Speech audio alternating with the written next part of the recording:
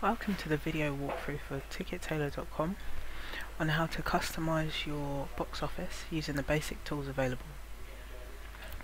So go to login, log into your TicketTailor dashboard, then head over to box office setup which is up here.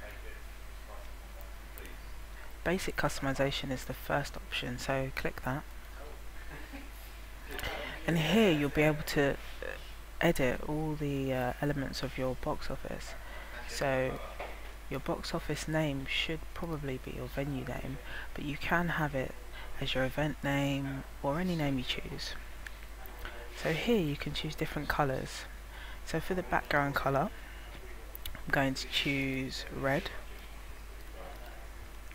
For the box color I'm going to choose a nice light purple. I'm going to have the text as black. You can even type in the HTML code here if you know it. And for the highlight link colour I'm going to choose green. And you can even change the font. I'm going to leave that as Arial but you can have Helvetica, Georgia, Times New Roman or Verdana. And you can also change your logo. I've already uploaded my logo but you can delete that image and upload another if you wish in your own box office. So click save and here's the option to preview. So I'm going to open that.